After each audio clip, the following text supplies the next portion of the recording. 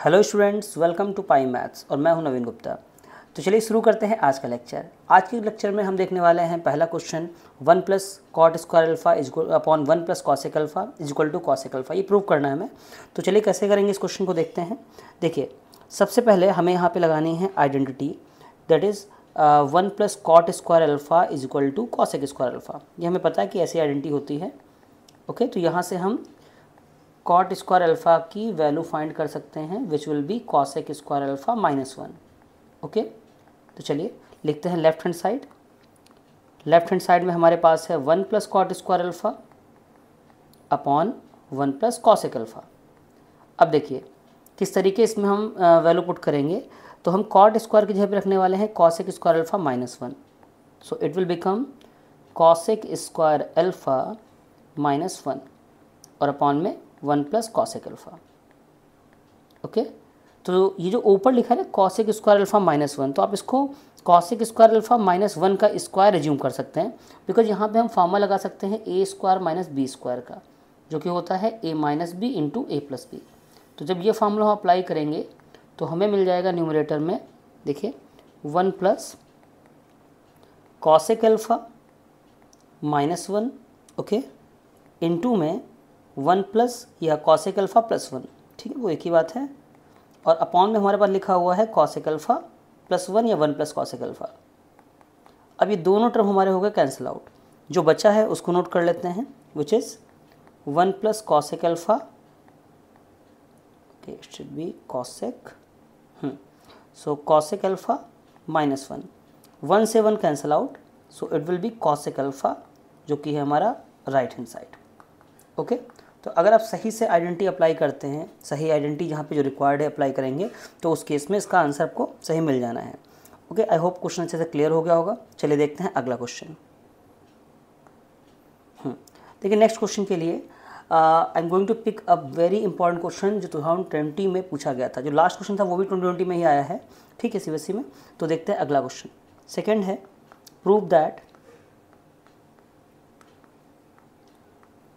one plus tan alpha tan A upon two sine A, okay? Plus one plus cot A upon two cos A, और हमें prove करना है इसको equal to cosec A plus sec A. चलिए, आगे देखिए कैसे इसको करेंगे हम लोग। Write down the left hand side first. So left hand side is one plus tan A upon two sine A. Plus one plus cot A upon two cos A. अब जब इस टाइप का क्वेश्चन आए आपको कुछ idea नहीं कि क्या किया जाए तो हमेशा ये करिए कि जो टेन कॉट दिया है, उसको साइन कॉस में कन्वर्ट कर लीजिए ओके तो यहाँ पे हम जो ऊपर टेन लिखा है, इसको लिखेंगे sine A by cos A और ऐसे ही जो दूसरा स्टेप है, उसमें हम लिखेंगे कॉट को cos by sine A okay so upon में हमारे पास टू कॉस आ जाएगा।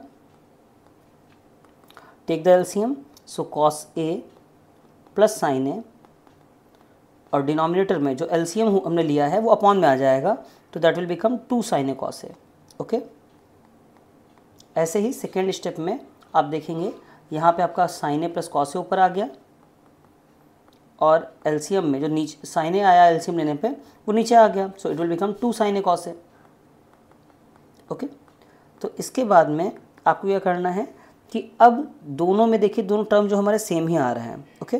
तो हम क्या कर सकते हैं एलसीएम लेकर के इनको एक साथ लिख सकते हैं which is two sine A cos A और ऊपर भी टू कॉस से भी आ रहा है और टू साइन ए भी आ रहा है। तो हम टू कॉमन कर लेते हैं तो कॉस से प्लस साइन ए बचा केवल।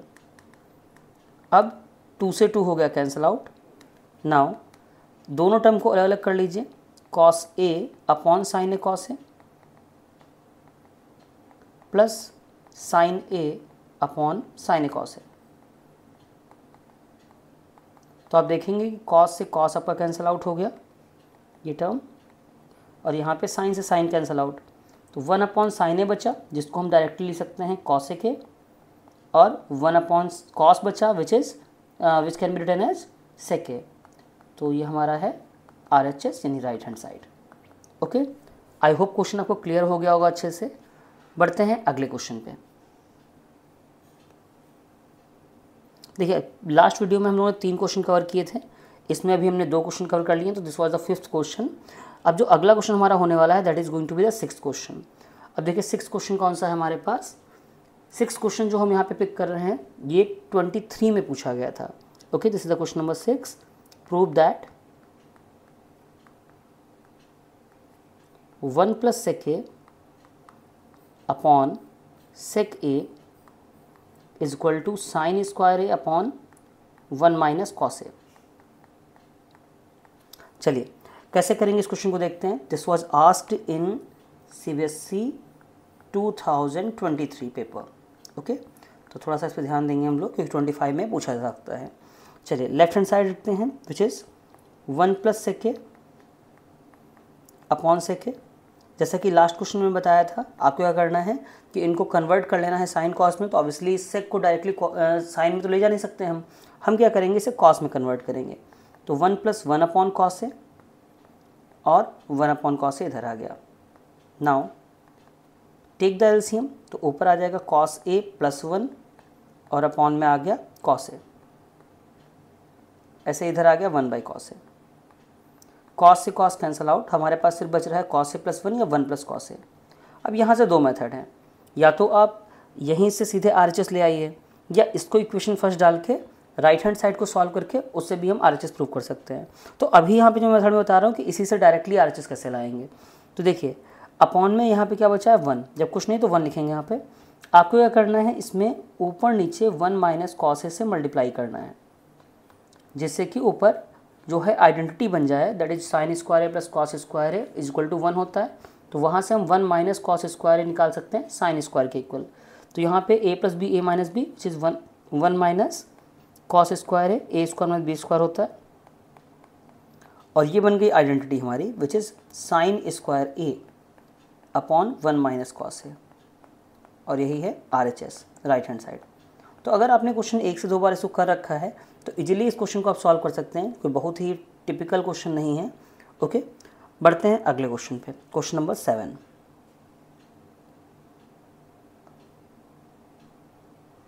question number seven is prove that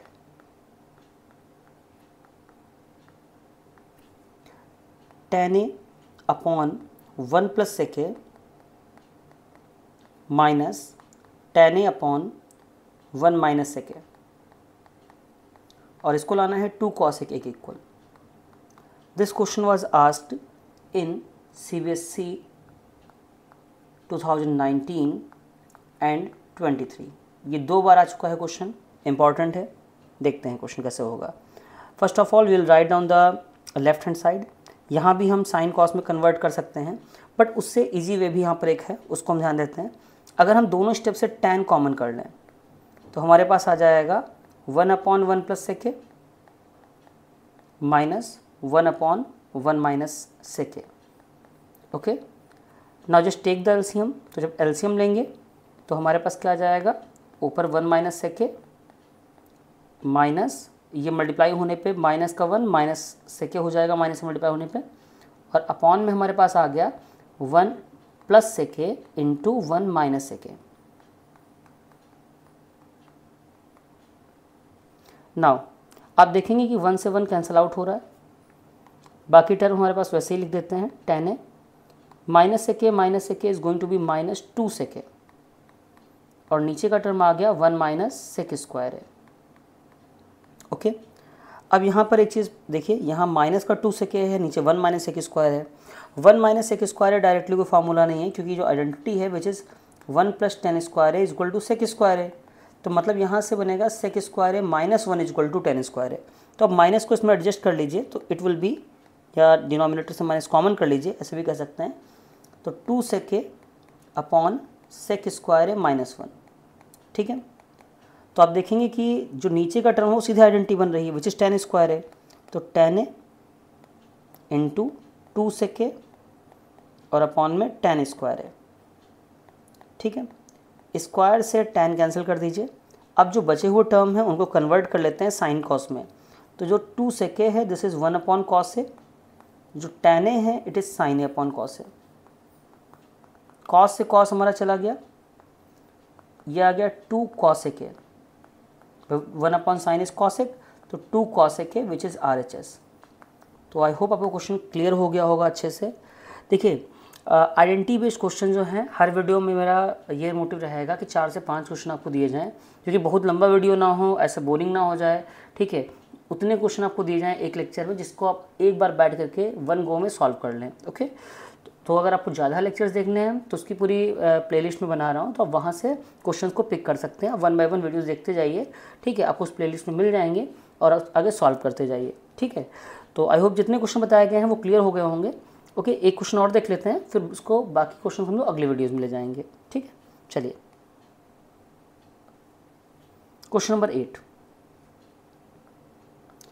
Question number eight यहाँ पे हम पिक करते हैं that is two thousand twenty three का ये भी क्वेश्चन आया हुआ है, क्योंकि बहुत सारे पेपर्स बनते हैं एक साथ में, ठीक है? तो यहाँ पर हम जो क्वेश्चन ले रहे हैं, ये भी ट्वेंटी थ्री का ही है, ठीक है? तो if sine theta plus cos theta is equal to P and sec theta plus cosec theta is equal to q okay then prove that q into p square minus one is equal to two P okay देखिए इस type के question को solve करते वक्त हमें ध्यान रखना है कि हम हमेशा उस साइड से वैल्यू को पिक करेंगे जिसे ज़्यादा टर्म दिए गए होंगे। इसे L H S to R H S लाना है। तो हमने देखा कि भाई लेफ़्ट हैंड साइड में ऑब्वियसली ज़्यादा टर्म दिए गए हैं। तो इससे आर एच एस लाना ईजी है। Just write down the left hand side which is Q into P square minus one और चलिए वैल्यू रख लेते हैं। क्यू की वैल्यू हो गई sec theta plus cosec theta P square P square is sine theta plus cos theta का whole square और minus one okay sec theta को हम लिख सकते हैं वन अपॉन साइन, है ना? Sorry one upon cos theta and cosec is going to be one upon sine. अब जो ब्रैकेट के अंदर लिखा है sine theta plus cos theta का होल स्क्वायर जरा इसको एक्सपेंड करते हैं। It is sine square theta plus cos square theta और plus two sine theta cos theta और ब्रैकेट के बाहर जस्ट इसमें जो है इस ब्रैकेट के बाहर माइनस वन लिखा हुआ है तो वो लिख देते हैं। नाउ आप क्या करिए, जो बाहर वाला टर्म लिखा है, उसमें एलसीएम ले लेते हैं। We are going to get sine theta plus cos theta sorry यहाँ पे इंटू में आ जाएगा अपॉन में, ऊपर प्लस में आ जाएगा। Sine theta into cos theta और ऊपर में हमारे पास साइन प्लस कॉस आ गया। ठीक है? अगले ब्रैकेट में sine square plus cos square which is the identity ये हो जाएगा वन यहाँ पे वन लिख दिया हमने। Plus two sine theta, cos theta और माइनस वन। अब देखिए, जो ये वन है, one cancel out. Sine theta plus cos theta upon में sine theta, cos theta, into में आ गया two sine theta, cos theta. Now, sine theta, cos theta को आप कैंसिल कर लीजिए।